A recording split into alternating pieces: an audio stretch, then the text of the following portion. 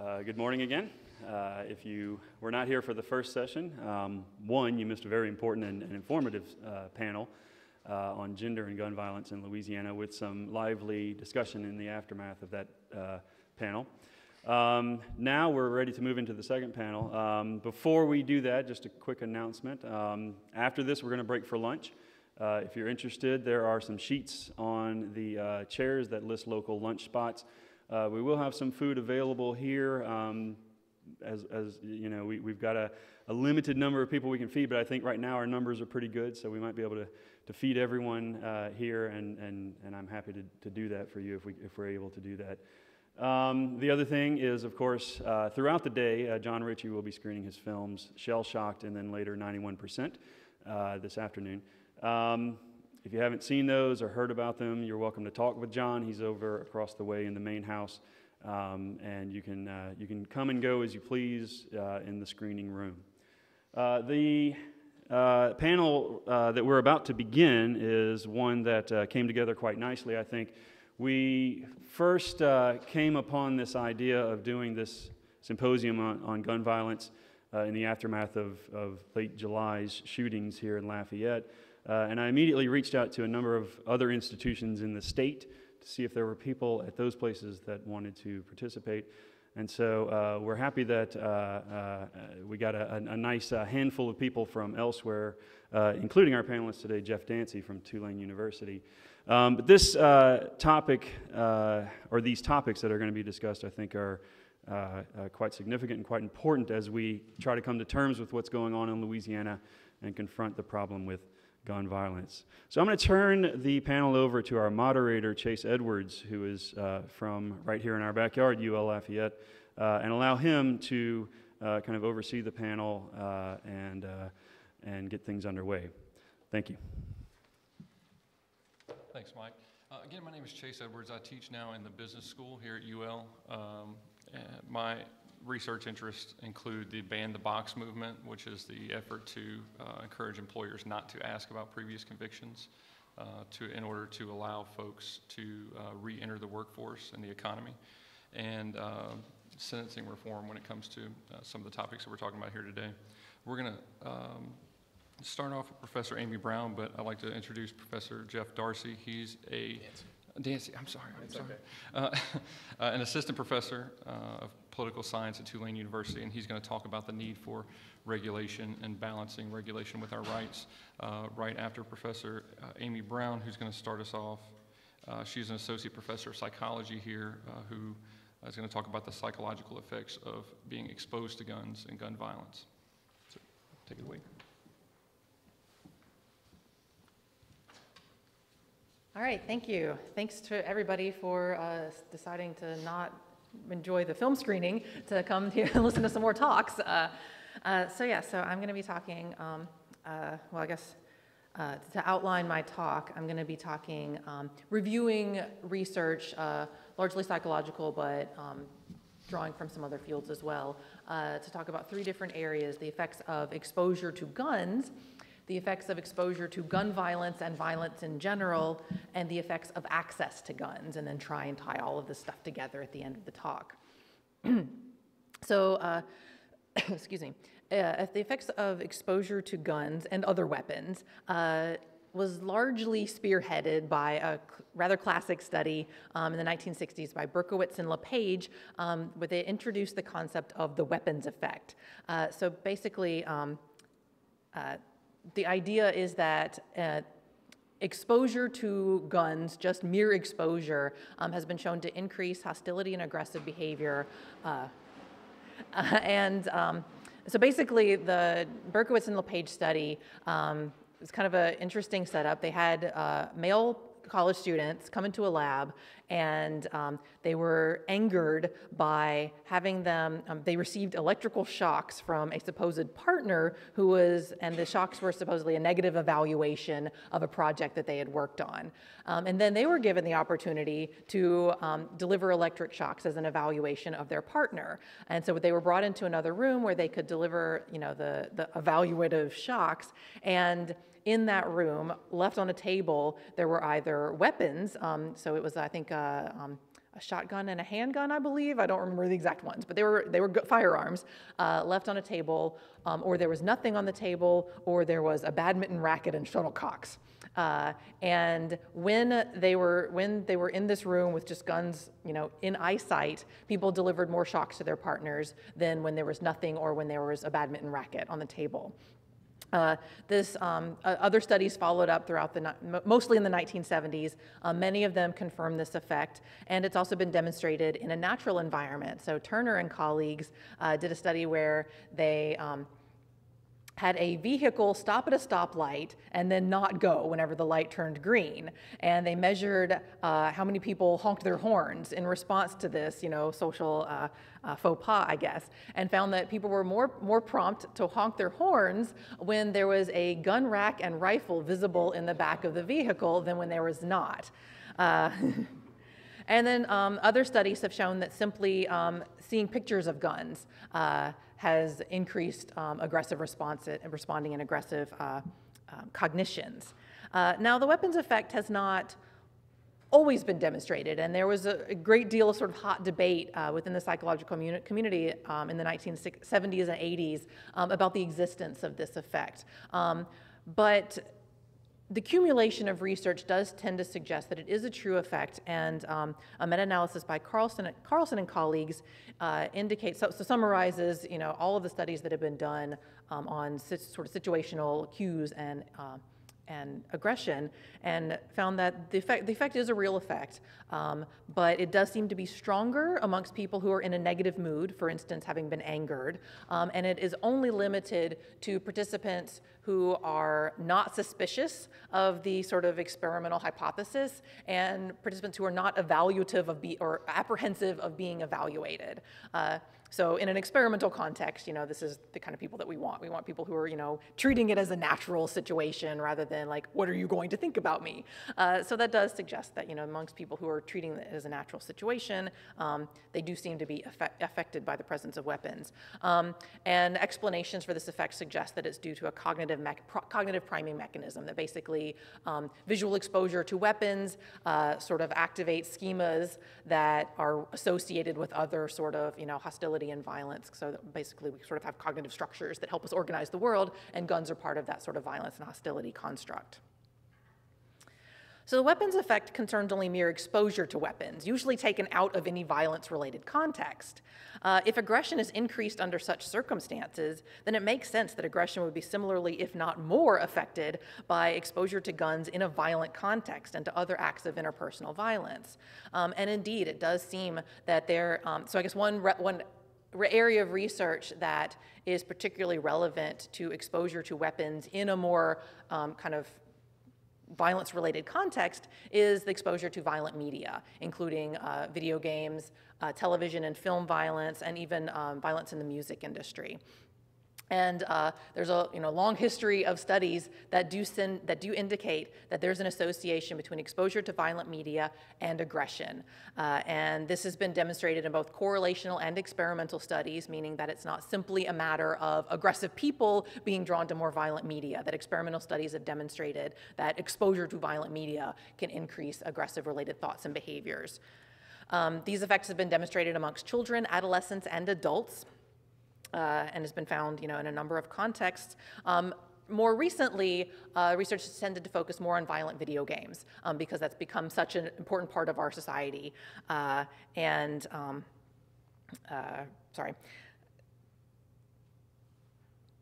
and so yeah, so um, there's you know there's still debate. There's still people you know arguing on both sides of this issue whether vi playing violent video games does or does not promote aggressive behavior. Um, but it does seem to be that at least in some people, playing violent video games does promote aggression. Uh, although the interesting flip side of the coin is that well, I, actually. Studies have shown not only does playing violent video games can it increase aggressive behavior, it actually can decrease pro-social behavior as well. Uh, and um, part of this reason, part of this is that the mediators of this sort of um, uh, violence exposure and aggression effect seem to be things like uh, uh, impulsivity, attentional deficits, and empathic concern. So, a long history of being exposed to violent media, for instance, playing violent video games, um, has been associated with uh, increase, in, increases in impulsivity, uh, problems with um, sort of attentional processes, and lowering of empathic concern.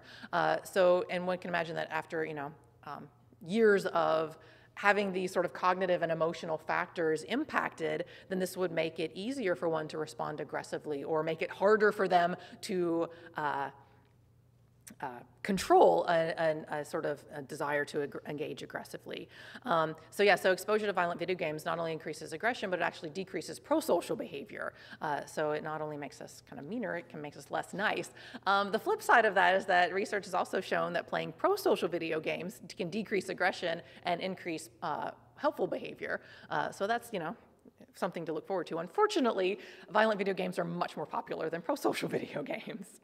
Um, so, uh, so yeah, so there's um, sort of uh, uh, cognitive and emotional mediators of the relationship between exposure to violent media and aggression, um, there, but there also are some important moderators. Uh, this that, that you know we all know that not everybody who plays violent video games acts, behaves aggressively. And research does suggest that, um, that this effect may be moderated or may differ based on trait levels of aggression. So people who are sort of more naturally inclined to be, be, behave aggressively are even more strongly impacted by exposure to violent media than people who are less inclined to behave aggressively.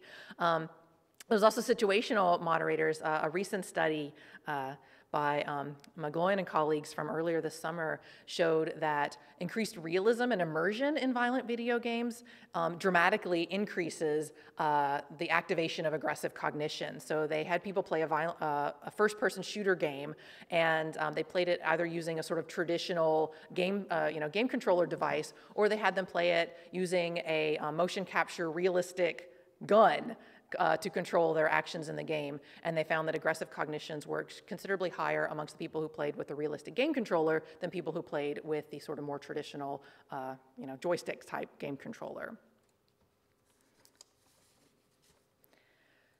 So some of the theoretical explanations uh, for these effects are, well, I guess um, the, weapon, the, the, traditional weapons effect was first explained uh, by evoking sort of classical con conditioning um, or effective mechanisms. However, uh, as research accumulated, it seems to be largely due to a cognitive mechanism. However, the effects of exposure to, violent, to, to media violence seem more complex, um, with good evidence that they're both cognitive, affective, learning, and even neurological mechanisms play a role uh, in this process. And uh, and Albert Bandura's uh, social learning or social cognitive theory seems to be particularly applicable. Uh, so in um, uh, Bandura's early experiments, uh, he showed that, aggress- that violent behavior or aggressive behavior could be learned by exposing young children to uh, an aggressive model. So they, had, they exposed them to an adult who was playing with this blow-up toy called a Bobo doll, um, and they showed the adult, you know, beating up the doll, sitting on it, you know, punching it, and then they put the children in a room, and they found that children were more likely to behave violently towards the Bobo doll when they'd been exposed to a model doing so, and that this, this was even more likely to occur when um, the model was the same sex as the child, and if they'd seen the model being reinforced for engaging in this behavior. So, to sort of simplify and summarize Bandura's theory, he suggests that we can learn through observation, but this is enhanced by the expectation of reinforcement for the behavior, um, and but this is also modified by intentional processes, goals, and self-regulatory abilities. So, Bandura's theory um, is uh, applicable to exposure to media violence, but it's also very applicable to exposure to real-world violence, um, the kind of violence that you know we may experience in our communities or in our homes. Um, and a number of studies have shown that there is a um, that that one of the strongest predictors in adolescence of violent behavior, both actual violent behavior and hypothetical violent behavior, is a history of exposure to violence in the community, um, amongst peers, and in the, and in the home. Uh, and um, although most of the, uh, most of the research in this um, domain has looked at sort of more um, children from impoverished backgrounds and inner city environments. Uh, it's been demonstrated amongst rural youth as well. So Slovak and Singer um, measured exposure to gun violence in particular and found in a, in a rural setting and found that those adolescents who had greater exposure to gun violence had a greater history of violent behavior. Um, Furthermore, uh, exposure to violence within the community is associated not only with aggressive behavior, but also with mental health problems, including PTSD, depression, and substance use. Um, and I won't get into a lot of that research, but there is evidence that, um, that at least certain uh, mental health problems, including substance use and PTSD, have been associated with violent behavior as well. All right, so just to summarize up to this point, the weapons effect shows that exposure to guns can increase aggressive cognitions and aggressive behavior um, when an acceptable target for aggression is near is is provided. But these studies do not suggest that any exposure to weapons will elicit violent behavior. I mean, we're all exposed to probably images of weapons on a regular basis, and we don't go around hurting other people. Um, however, if we add in um, regular exposure to violent content in the media or in our environments, then that further increases the likelihood of behaving in an aggressive manner. Um, and then let's add in the factor of owning a gun, which provides not only exposure to weapons um, and the subsequent cognitive priming of aggression, it provides an available tool to use to commit violence if these impulses are activated. So, so, several, so a few studies have shown that owning a weapon is associated with an increased likelihood of responding to threats in an aggressive manner. Uh, so Friday and colleagues uh, surveyed adults in communities in the U.S. and Japan, and found that owning a weapon, um, they asked people about their weapons ownership, and they gave them hypothetical scenarios and asked them how likely they would be to choose different responses. Um, some of those responses being sort of a violent uh, or aggressive responses, and they found that although Americans were more likely to report owning weapons and were more likely to choose aggressive responses than their Japanese counterparts, um, they did find that uh, in both countries, weapons ownership was associated with higher likelihood of choosing the aggressive response in the hypothetical scenario. Uh, another study by Hemenway and colleagues uh, used data from a national survey of US drivers and asked about experiences with making obscene gestures towards other drivers on the road and about things like aggressively following other cars. And they found that both behaviors were more prevalent amongst those who admitted to having a gun in the vehicle. Now, both of these studies are correlational, so they don't indicate that having a gun in one's possession necessarily makes you more, more, makes you more aggressive. It could be that people who are naturally more aggressive are more likely to own weapons and have them nearby. Um, however, as we've already reviewed, experimental evidence of the weapons effect does show that you know, mere exposure to guns and other weapons can increase aggressive responding. So uh, when we're talking about uh, the impact of access to guns, perhaps most obviously, uh, the sort of the most extreme type of aggressive behavior um, would be using a weapon to end the life of oneself or someone else. Um, and indeed, studies um, at both the um, individual level and population level studies have shown that gun ownership is associated with increased homicide and suicide rates. Um, now, uh, there is, especially when looking at homicide rates, uh, um, it differs sort of the, the level at which the analysis conducted. Um, the, this relationship is smaller um, and much more modest um, of the relationship between um, gun ownership and homicide victimization when looked at at the individual level. But an obvious explanation for this is that people who are victims of, of firearm-related homicides are generally not killed with their own guns. Uh, whereas um, there's a stronger association at, in, at, the individual level of gun ownership and suicide rates because most people who um, commit suicide using a firearm do indeed use their own guns. Um, however, if we look at, um, sorry, if we look at, uh, oh, well, never mind. Uh, if we look at population-based studies, so studies that have looked at, you know, um, large-scale gun ownership or availability of guns based on gun ownership um, and homicide and suicide rates, there is a clear, there is an association of gun ownership, prevalence of guns, and um, both homicide and suicide. Uh, so because again, because the fo focus of my study was more on mental health, um, I wanted to talk a little bit more about that relationship between gun ownership or uh, access to guns and suicide in particular. Um, so I was recently um, uh, read two studies by Anestis and colleagues that came out earlier this year on um, uh, and looked at state level laws um, for that regulate gun ownership and suicide rates. Uh, and he and his colleagues examined state laws that were associated with things like requiring permits to own handguns, um, requiring a waiting period, et cetera, um, and found that basically when, and compared states that had any of these, you know, they looked at each law separately and compared the states that, you know, had restrictions according to this law versus those that did not restrict gun ownership according to each of these things. Um, and found, and looked at state level rates of overall suicides, firearm suicides, and the percentage of suicides committed by firearms. Um, and found that for each of these comparisons, uh, even when controlling for demographic statistics such as poverty level, education level, um, and things like that, uh, in almost every case, uh, there is a significant relationship between um, regulation of access to guns and um, overall suicides, firearm suicides, and percentage of suicides attributable firearms. Um, and what that indicates is that people who want to kill themselves um, are not just finding other means to do it, that firearms are, are potentially lethal um, mode of, of conducting suicide, and they're also being highly available. So many times suicide, many times suicide is planned, but many times it's an impulsive act. Um, and that sort of desire may dissipate if one does not have access to a gun in one's environment. So, uh, so this, so basically, to, to try and um, um, wrap things up and, and put together a lot of these factors that I've talked about, um, I tried to, you know, create a kind of graphic putting everything together. I realize it's a little complicated, um, but it seems to kind of start with access to guns. Um, that access to go- guns um, increases our exposure to guns in our environment. Um, exposure to guns increases aggressive, um, has been shown to increase aggressive thoughts and aggressive behaviors. Uh, this sort of these aggression constructs are also impacted by exposure to violence in one's environment. Exposure to vi- violence increases not only aggression but also psychological distress.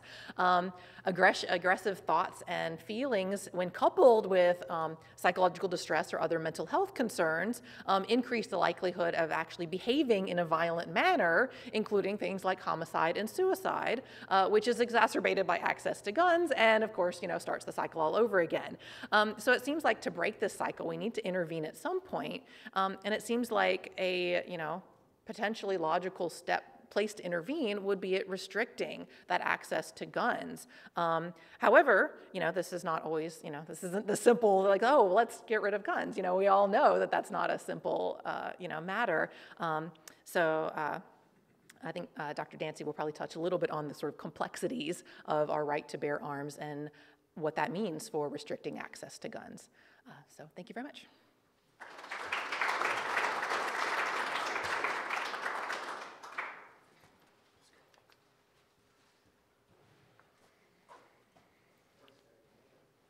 Hi, everyone. I'm Jeff Dancy from Tulane University Department of Political Science. Uh, and I just want to say thanks for having me here. Uh, jumped at the chance to come speak to you about gun violence in the United States, but also gun rights, which is something that hasn't really come up today uh, thus far. Uh, if I could just start this presentation mode. I should say also that I'm not used to speaking on a mic. The last time I spoke on a mic was when I ritually failed at stand up comedy in college. Um, so it brings back bad memories, but I'll do my best.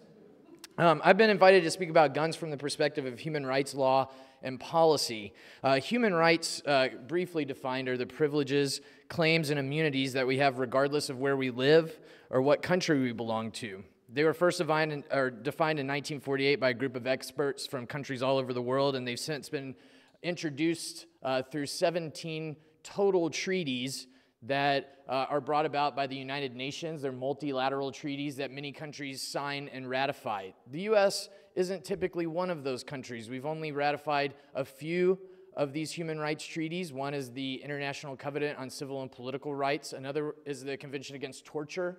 Uh, but typically, our courts don't apply the rules of international human rights law to domestic law.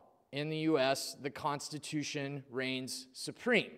So, the task for me is as a human rights expert, what could I possibly add to a conversation on gun rights and gun policy in the United States where human rights doesn't typically apply?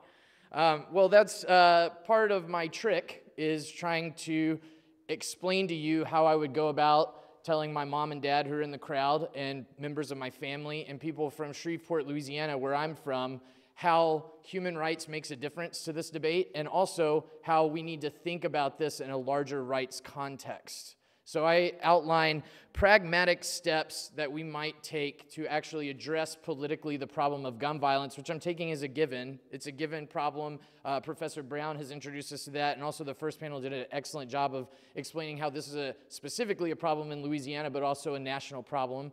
But I want to take that problem and I want to think about it pragmatically. Uh, this is what I work on. Uh, my first book project is Pragmatism and Human Rights. So the first thing that you do is you identify with the other side. Whatever side you're on, identify with the other side in the debate and try to figure out what's moving them and what's explaining their interest in the issue. The second thing to do is embrace that in the United States, we have an unfettered right to own a handgun, uh, we have an unfettered right to bear arms. And then we need to put that right in worldwide context. So that's the second thing that you do. The third thing that you do is explain that regulations can and must coexist with rights if rights are to be meaningful in society. They always coexist with rights. That's something that human rights experts are really familiar with. Fourth, you have to explain that our current laws on guns or lack of laws are actually making us less free in the United States and making us an indecent society. So those are the four things I'm going to try to do to you today. I thought that originally with my students who, uh, my students and I have been working on this for three weeks, uh, getting together evidence. I have like 100 pages of evidence if uh, anybody wants to ask any questions. Probably overkill. Uh, but um, what I thought I was going to have to do is maybe convince a bunch of people from the local community that this, this should matter to them. But I think that I'm talking to the like minded, so instead I'm going to explain how I was going to go about doing that, which is following those four steps. So, first, let me just say that human rights experts normally don't think much about guns unless they're conceptual, conceptualizing threats to human rights. Uh, the first reason is that, technically speaking, the right to bear arms is decidedly not a recognized human right in the international community. There is no human right to bear arms, and it doesn't make sense to have one. Uh, the second reason is that in developing countries, small arms are wielded by abusive police forces, warlords, and terrorist groups uh, to kill and torment local populations. This is something that we know about small arms, and that's why we try to limit them. The task for many human rights activists is actually to stop gun runners from selling arms to bad guys.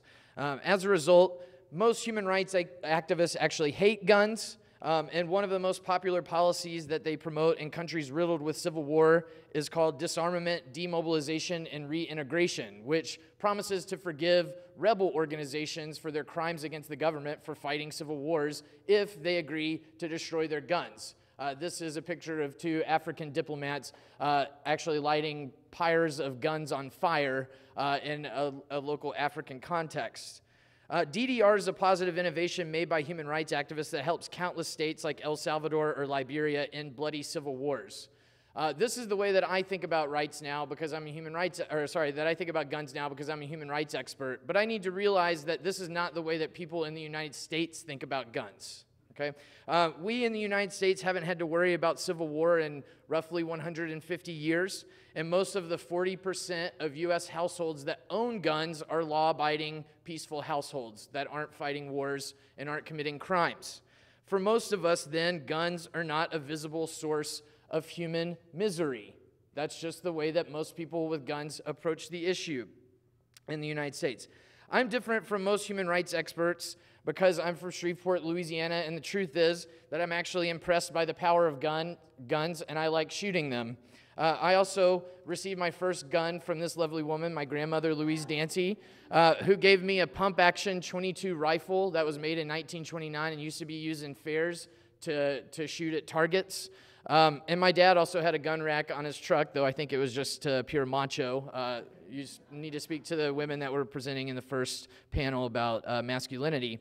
Um, but I also owned a gun when I looked like this, and I lived in college. I was at the University of North Texas in Denton, and I owned a snub nosed 38 revolver that I kept uh, primarily for the purpose of self defense in my home. I never needed this gun. I was never victimized by a crime, and I've never, ever been victimized by a crime, or at least a violent crime. I've had my car stolen in New Orleans, but that's pretty much par for the course.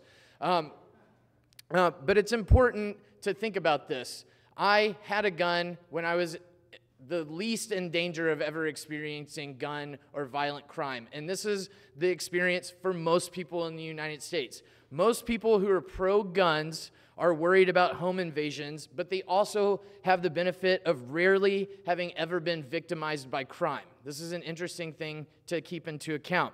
Um, most people who are in poor and minority communities that live in hyper-violent sections of cities like Central City and New Orleans, uh, or South Chicago, both places where I've li- I haven't lived in those parts of those cities, but I've lived in the, both of those cities. These people despise guns because so many of their family members have been shot to death by guns.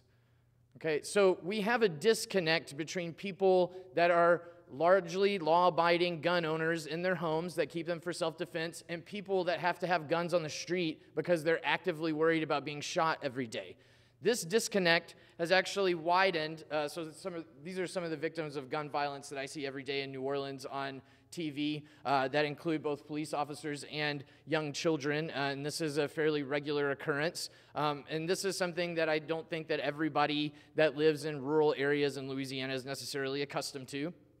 Uh, but also, uh, we need to recognize that our disconnect spreads throughout the United States. So in Washington, D.C., this is a, a school bus that was uh, shot up by guns. I don't think anybody was actually harmed in this, but it's a striking visual element to consider this problem. But in Washington, D.C., local law enforcement officers are tired of people calling 911 uh, because of shootouts in their neighborhoods. Um, so in the 1970s, they passed a number of restrictions that they've tried to continue to enforce over time. Of course, none of those restrictions worked because all of the criminals just go to Virginia and buy their guns there, or Maryland and buy their guns there, and come back into uh, the District of Columbia. So there's not a national system of reg- uh, regulations, so you can just circumvent any given city's regulations if you need to. Uh, but this is also an important uh, place because this, uh, the, Washington, D.C. is where uh, our constitutional right to bear arms as an individual right was established in 2008 in a case called DC versus Heller. It pitted Dick Heller versus those regulations in Washington, D.C. Dick Heller was a guy who lived across from a, uh, an old abandoned house that was routinely shot up by gangs. Uh, and one time he found a bullet hole actually in his front door. Uh, and this is a man who also guarded a federal building with a handgun. So he was carrying a handgun for his daily job, but because of DC's restrictions, he couldn't actually have a handgun in his home that was on the ready. Uh, so, based on this, uh, some, some people brought a case uh, that eventually found its way to the Supreme Court. And that Supreme Court decision, DC versus Heller, uh, established incontrovertibly that each individual in the United States has the right to have a gun. And recently, an appeals court in DC extended the ruling to say uh, that a law limiting gun purchases to one gun purchase per month, called the one gun a month law, is unconstitutional. So, based on DC Heller, we're starting to outlaw some restrictions in the world, or sorry, in the United States. Um, the second part of what I was going to explain, though, is that we need to take this right and put it in worldwide context and explain to people that assert their right what this right looks like in the world. So, right now, because of DC Heller, the constitutional right is now unquestioned. Um, but in global perspective, it's also very unique. So, in the 1850s, roughly 15% of all countries had a right to bear arms. Now, it's only four countries. These four countries are the United States, Mexico, Haiti, Guatemala. All these states, not incidentally, have a tremendous amount of gun violence. Okay? Um, our right, our right to bear arms in the, uh, in the U.S. is also not accompanied by legal provisions that limit that right, even though in all of those other states it is. For example, in Haiti, you can have a gun in your home, but you can't have a gun in public. Um, and that's built into the constitutional uh, perspective. So, recent litigation is actually moving us to a situation where people can have guns anywhere, and the only limitation in some states are on people with previous mental illness, previous criminal records, or a record of domestic violence. That means that all citizens in the United States basically can have a gun as long as they're not verifiably mentally ill or criminal. And it also means that these laws wouldn't stop first time offenders like the Columbine shooters the Virginia Tech shooter, the theater shooter in Colorado, most members of the KKK that still have guns, most neo Nazis, or most members of the Black Panthers from bearing arms. We can't stop any of those people because most of them are law abiding. Under our laws, they would have an absolute right to own a gun. Be that as it may, Our Second Amendment right is now guaranteed, and this is something that we must reckon with. We have an individual right to have a gun. Between 1939 and 2008, or sorry, yeah, 1939 and 2008, most courts didn't interpret the Second Amendment as bestowing an individual right. Uh, but now we have the new ruling protecting this right. Uh, and so opponents of gun rights argue that this uh, kind of follows an old pattern, that the rest of the world uh, outlaws something that's hyper violent, and the United States follows 40 or 50 years later, outlawing it. But in the meantime, we basically still have uh, a hyper violent society. So, for example, the rest of the world outlawed slavery 40 years before the US did. The rest of the world has also basically outlawed the death penalty. If you look at this, these are all the countries that have outlawed the death penalty. It's over, uh, it's, it, it's getting close to um, eight, I, so 60%, what, what, does that say? I'm actually, uh, it's, it's basically 120 countries in the world. I'm not sure what the axes are, it doesn't matter. 160 or 120 countries in the world have completely abolished the death penalty, and many states in the, in the United States have also abolished the death penalty. But in the uh, we're, we're behind as a country for not doing it, and we're behind in the South because most southern states keep the death penalty alive. Um, so, still, from a political perspective, DC versus Heller is good because it settles what used to be the main argument between pro gun and anti gun activists, which is whether there's a right. Okay, now we absolutely have that right, and this is precisely the reason that the National Rifle Association opposed bringing the case to the Supreme Court. Why? Because they don't get to scaremonger anymore. They don't get to say that the government is going to come take your guns because the government literally now cannot come take your guns. It's constitutionally prohibited. So, one NRA lobbyist said, Nothing keeps the fundraising machine whirring more than convincing the faithful that they're a pro gun David facing an invincible anti gun Goliath.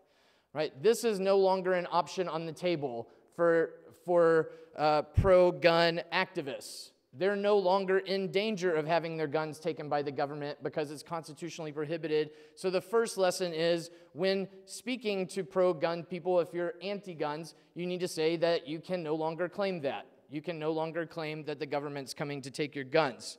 Uh, the second thing you need to say is that uh, we don't need to be scared of regulations. In fact, all rights exist with regulations. Uh, and let me prove it to you. So, first, in DC versus Heller itself, which was written by Judge Antonin Scalia, the judgment, it says, Nothing in our opinion should be taken to cast doubt on long standing prohibitions on the possession of firearms by felons and the mentally ill, or laws forbidding the carrying of firearms at sensitive places such as schools and government buildings, or laws imposing conditions and qualifications on the commercial sale of arms.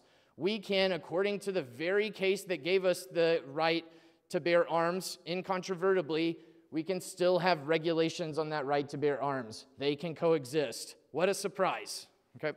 Um, still, the mere mention of regulation will mean that gun enthusiasts will start talking about slippery slopes and the government coming to storm into your house and steal your guns. But again, the government simply cannot do that. And also, I would submit that everyone who is pro guns would still recognize the need for regulations in some cases. Let me prove it to you. Um, if we allowed for a completely unfettered right to have guns anywhere, it would mean that we would have to allow people to carry guns on planes. Okay? What a terrifying idea that would be. Okay? So even if a good guy is trying to stop a bad guy on a plane with a gun, a bullet hole can shoot through the fuselage and lead to a loss of cabin pressure and suck people out of the airplane into the thin air, right? Could you imagine a more terrible way to go? Nobody wants that. Nobody wants guns on planes. We don't have guns on planes. Okay? Um, the second thing is that we don't have guns in the courtroom. Okay?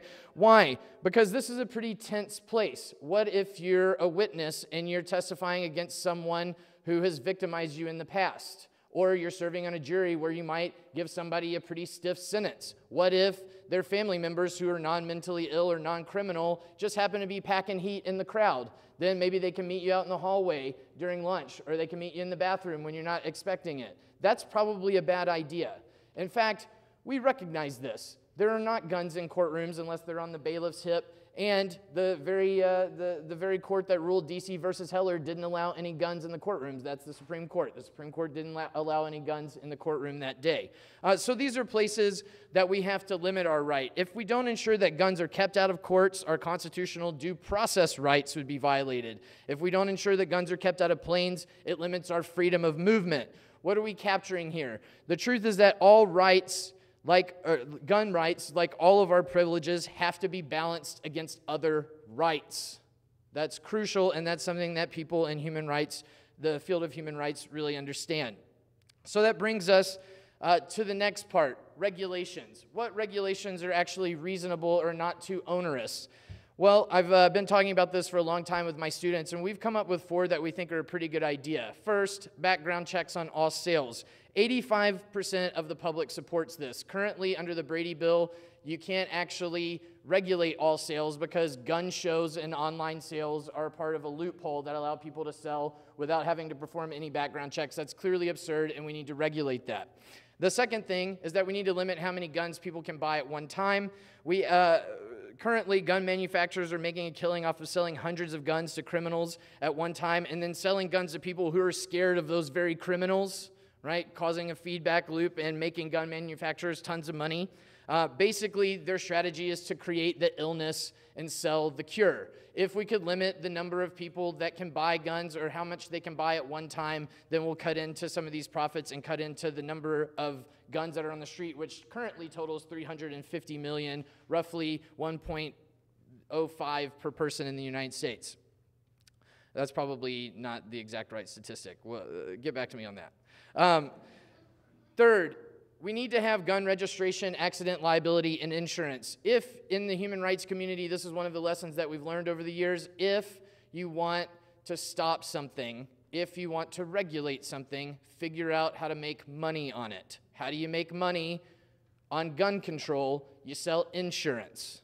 Get the insurance companies involved, and they'll be able to throw their weight against the gun lobby. That's a simple fact. Insurance lobbies are the only lobbies that are probably more powerful. So, if we could establish liability laws that are relatively simple, relatively low insurance premiums for gun owners, and ensure that they're held liable if their guns are stolen and used in crimes or used in accidents in the home or used in domestic violence situations, that they're charged quite a bit of money or they're, they're held civilly liable for those things then eventually uh, we might be able to make money on the gun control side. Uh, finally, we need to have smart guns. These guns already exist. Gun manufacturers have patented guns that prevent non owners from shooting them, so you actually have to have a fingerprint recognition. Uh, we should incentivize owners to have these guns, and we could work that into the insurance program. Simple enough. None of these stop people from having guns or hunting or doing anything like that. They just help us track and limit criminal and accidental use. Um, this rights with regulations ap- approach should apply to everything.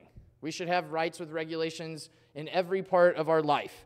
Currently, it's the way we approach driving. To drive, you have to have a license, insurance, and state registration. You also have to have safety mechanisms in your cars, like seat belts, and sometimes in places you have to have airbags. Um, to drink alcohol, you have to have a state ID, and the bartender is not allowed to overserve you at risk of contributing to an accident. I know that because I had to go through that uh, process. Uh, I was a bartender, uh, and I could overserve people and get in trouble for that. Uh, even for some neighborhoods, the right to own property is regulated by rules on how to keep your yard in order. You have to keep your yard a certain way. Okay? Uh, why can't we re- regulate gun transactions like we regulate driving, drinking booze, or cutting the grass? Okay, I think that's completely reasonable that we could regulate it in the same way. Uh, the final thing that I want to say is that to convince people on the other side, if you're on the anti gun side, right, to convince people on the other side, you need to explain to them the notion of reciprocity. Rights always exist or always should exist with some notion of reciprocity, which is easy to explain. It's that old notion that my right to swing my fist ends where your face begins. Okay? It's no different with guns. My right to self defense ends when I start to actually threaten you. Okay, so this is a huge problem. Uh, if we didn't recognize that there was some reciprocal relationships, even though we have rights, we'd swing our fists everywhere and we'd be pretty unpopular people in the bar, right? Uh, but we recognize this, and people have long recognized this. Thomas, Jefferson's, uh, Thomas Jefferson and other founders uh, understood this. They knew that rights have to be paired with reciprocal thinking. You can't only consider your rights, but you have to consider the rights of others, and that's what means we live in a society together. Um, if guns uh, if gun rights and our rights to self defense are exercised too widely, they start to erode our public spaces, and I think this is precisely what's happening today. Uh, so let me give you an example. First, we have stand your ground laws, which have been passed in these 20 states that are colored blue. Uh, these laws basically encourage people encourage people to fight back against crime or perceived threats um, if it's necessary for their self-defense. Um, this also means that they can do what's called committing justifiable homicides. So it means that you're killing people and it's justified, which it's never justified. From a human rights perspective, nobody ever gets to lose their right to life. That's the one right that's not regulated, right? You always have a right to life. Uh, but since stand your ground laws have passed in, uh, passed in 2005 in Florida, justifiable homicides have tripled, according to the Florida Department of Law Enforcement. In other states, others of these blue states have seen similar increases according to the FBI. Uh, these laws aren't applied equally to blacks and whites, which I hope is something we'll hear later on in the panel on race and gun violence. And they typically protect people who go out looking for trouble, like the man who shot Trayvon Martin. Uh, so we have to repeal these stand your ground laws. And we also need to work against open carry laws because skulking around with guns in public while proclaiming that you're protecting your right to self defense encroaches on others' rights to self defense. It violates notions of reciprocity. Um, so, uh, just to give you an example, I actually don't know legally, and we have lawyers in the crowd that might be able to tell us uh, at what point someone's open possession of a gun actually starts to violate my rights. Uh, is it when their fingers on the trigger while we're having a conversation, or is it when the gun's pointed at me without provocation? Uh, legally speaking, according to open carry laws, I have, absolutely, I have, I have no answers to this. I don't know when it starts to violate my right, and that freaks me out as a democratic citizen. So, um, non gun carrying civilians are now asked to discern between someone asserting their gun rights and a potential mass shooter. Okay? This is, a, this is something that we can't do, especially when the person with the gun is a stranger. Okay? Uh, this is a worry that Thomas Jefferson and John Locke would have had because basically, if everyone's carrying guns everywhere, it returns us to a state of nature. It takes us out of society. It removes us from the society that we trust in and that we've got a vested interest, interest in trusting and giving up some of our rights so that we can live in a, in a natural order together. Uh, people in favor of these laws often say that we need them because the government can't protect us, but in a pinch, I call the cops. I don't call in a citizen's militia that I don't even know, uh, and I don't rely on my now unpracticed gun skills to protect myself. Uh, I call the government because we live in a democracy, and that government is made in part by me. Right? The vigilante group around the corner looks just like the gang around the corner to me. None of them have a badge, and none of them are part of my government. So instead of parading guns in public, uh, guns should be enjoyed in private spaces, just like driving race cars in, in Louisiana or drinking in Louisiana are done, right? They're done in private with our friends. Uh, finally, I just want to uh, show you a few examples of how I think this is making us uncivil and unfree in the United States, some of these open carry laws.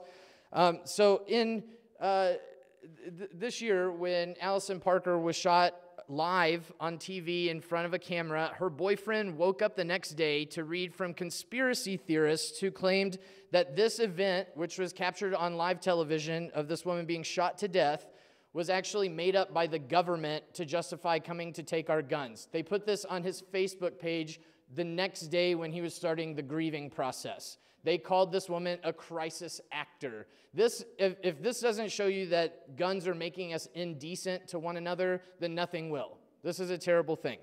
Uh, another thing uh, is that an elected official in Arkansas threatened one of his constituents with a gun.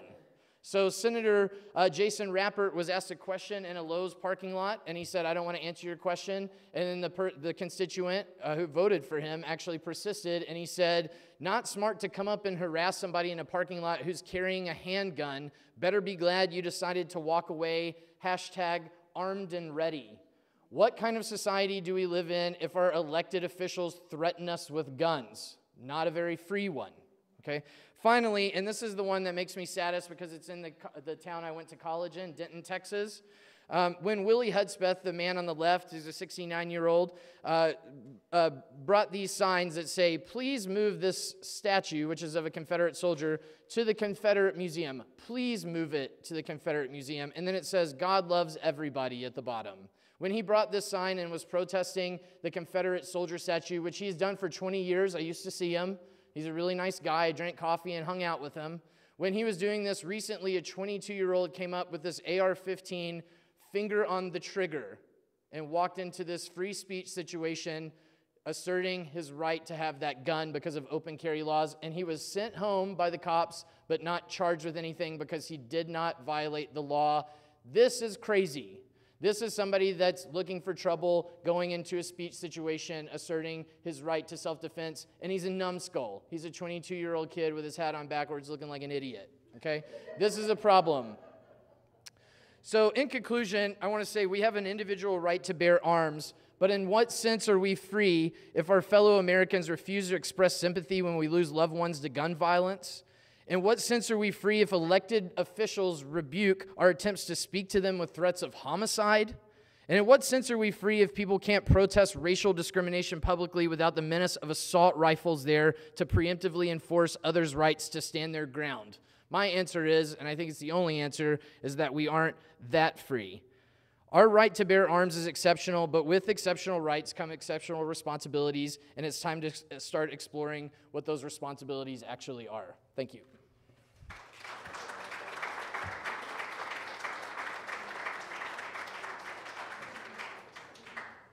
right, thanks a lot to both of you. We have 10 minutes to, to have a short conversation about some of the issues. And one of the issues that is uh, near and dear to my heart, besides ban the boxes, uh, the interaction of these laws with uh, veterans. I'm a big veterans advocate. Uh, now, don't get me wrong, I was, uh, I was in the service for six years, but I was one of the people that they kept as far away from guns as possible. I worked in uh, with satellites. I saw a gun once during basic training. They let me shoot it 36 times uh, to test and make sure I could I wouldn't shoot myself in the foot. Um, that's 36 rounds, not 36 times at, at the at the range. Um, so here's the issue. I absolutely agree that there's that there's room for regulation, and uh, I'd like you to speak a little bit about that. And I absolutely believe that exposure to uh, gun violence can, you know, uh, push people uh, towards acting that way. Uh, there's also a huge crisis in the veteran community where we have 22 veterans a day killing themselves. Okay, there's 22 veteran suicides a day. Obviously, many of them um, uh, uh, use guns to do that.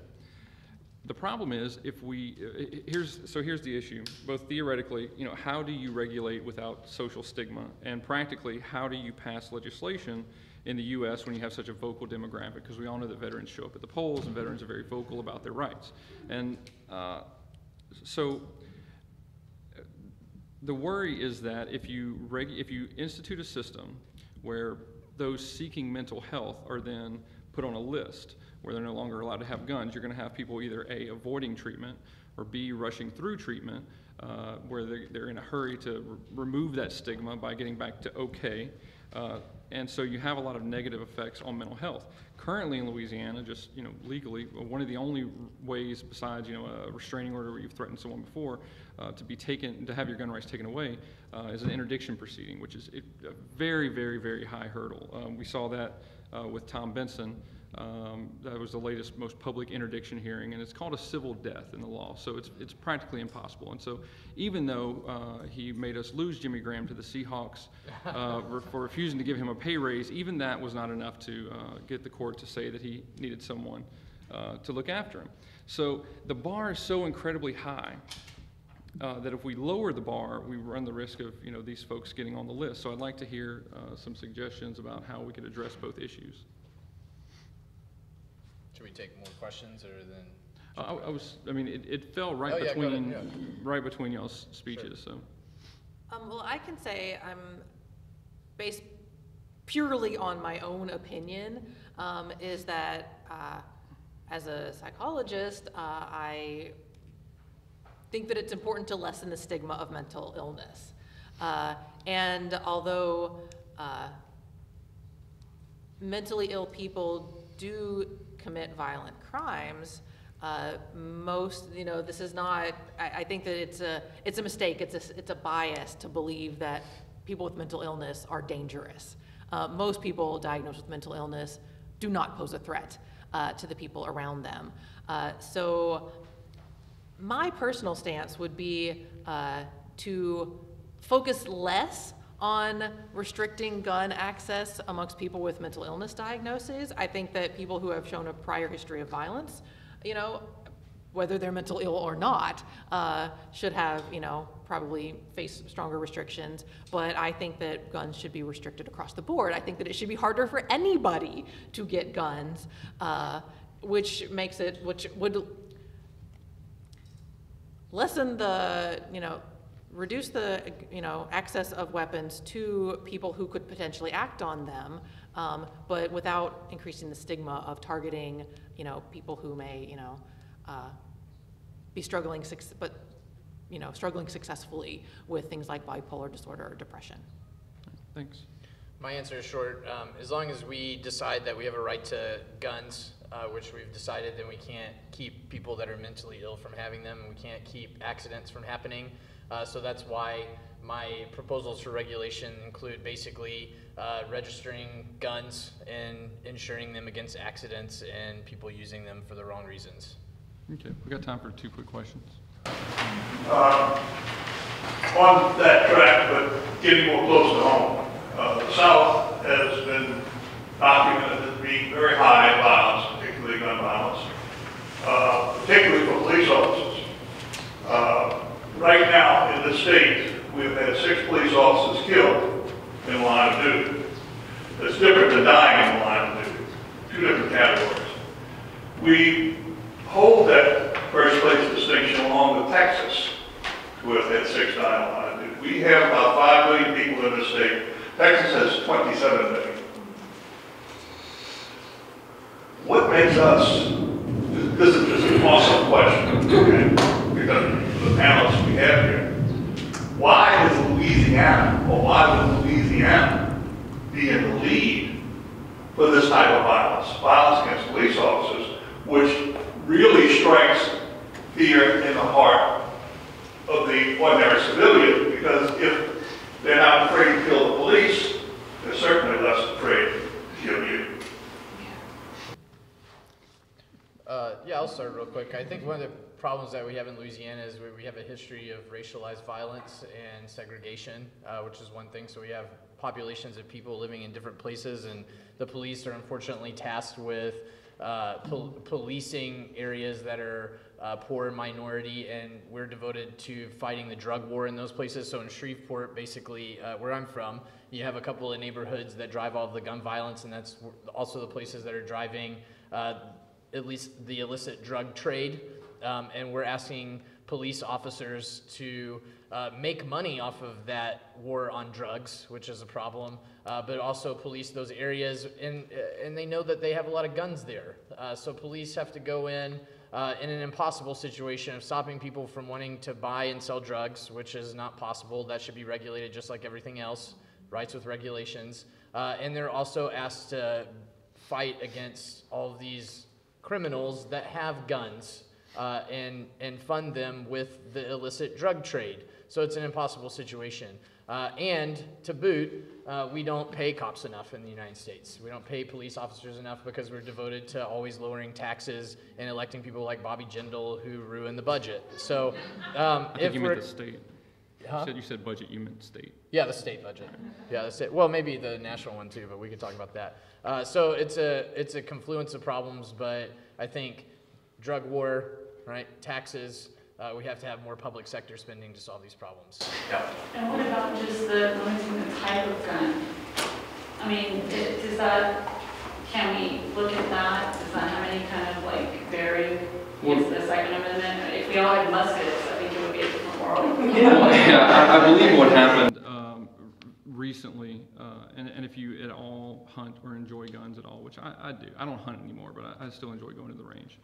Um, there are certain calibers of, of ammunition that you still to this day can't cannot find because, you know, uh, Obama's going to take your guns any day now. We're seven years into this thing, but you know, and so it's, it's really slow. He's going for the long con. But uh, whenever you, access to that gun, and why, why does Right. how can he justify needing that? well, and that's the thing. The slippery slope argument was used to uh, to combat any sort of limitation on ammunition sizes and those sort of things. Because as someone who grew up at that did hunt and and you know and and I'm comfortable around guns, I can tell you that um, you know. You realize that they even make for normal Glocks that most policemen carry and a lot of people carry for concealed weapons. They actually make a Glock magazine that is this long. It sticks out the bottom of the gun. That's uh, I think it holds 50 or 100 rounds. Right. Now, if you brought that to the range around people who like guns, you would be laughed. You, you'd be laughed at, right? I mean, because it's, it's obviously stupid. But we've, we've gotten to the point where even saying, you know what, I don't think that a 100 round magazine is, is reasonable for a Glock. They also make one that actually has a, the spools on the side, like a, like a, and, and so we, we unfortunately reached the point where the, the conversation is being uh, run by uh, one particular lobby, and even common sense regulation faces a lot of these pro- uh, you know faces a lot of these roadblocks. And so, And can I, can I add something to the first question that was asked about this sort of history of violence and the context of violence in Louisiana, what makes Louisiana different? Uh, this afternoon at, at the uh, 215 panel, we'll have a historian here who's going to talk about just that topic. He specializes in the history of violence in Louisiana, so be sure to come back to everybody else as well. And, and just one final thing I'll add to that, to, and then we'll, we'll probably have to wrap it up, is that I, I think that there's, there's something, I don't know if this, is- if, if this is part of the conversation out there, and I don't know the, uh, I can't remember the facts of all the police shootings that have happened this year. Um, I do know that a lot of police shootings and a lot of police uh, deaths are caused in uh, the situations where it's sort of, you're never going to take me alive, copper, right? Okay, you're in situations where a lot of times the, the, the officer doesn't know that he's walking into a situation. Uh, I know that the trooper who was uh, from Iowa who was killed up in Shreveport uh, was arresting a guy who was a fugitive. Um, or, or had some sort of warrant, I believe. Or no, he, I'm sorry, he had just committed another crime, and so he wasn't going to be taken alive. The guy in Sunset, uh, the, the, the man who killed the officer from Sunset, uh, was in another standoff situation. And so there's something to be said for the fact that uh, with current, um, with the way we respond to crimes currently, uh, which we eventually, you know, it leads to uh, standoffs and eventually, you know, uh, tactical ins- insertions by SWAT. Um, you do end up in a lot of these tense situations where you either have, uh, you know, suicide by cop, where a person is just going to go out shooting, which leads to injuries, um, uh, or, uh, I mean, th- there's something to be said for the fact that you know the U.S. is the prison capital of the world, and we're the prison capital of the United States. So we're the prison capital the prison capital of the world, and a lot of people end up in situations where they realize, okay, I'm probably going to jail for the rest of my life because we have people in Angola who are serving life for marijuana. Okay, so I've just shot war. someone. I'm going, yeah, I'm, I'm, I'm not going to go to jail for the rest of my life, and that's how they choose to end their life, and, and those that, who are around it. So there's something to be said about managing the mindset of folks who, uh, who have committed crimes that, you know, that there is no future, that there's no, there's no rehabilitation, there's no way out of prison. This is your last free moment, and how are you going to do it? And many of them choose to go out shooting. Uh, so that's just something to add to the conversation. I really appreciate all of you guys listening, and thanks a lot to the, uh, to the panelists who spoke. Thanks for being here.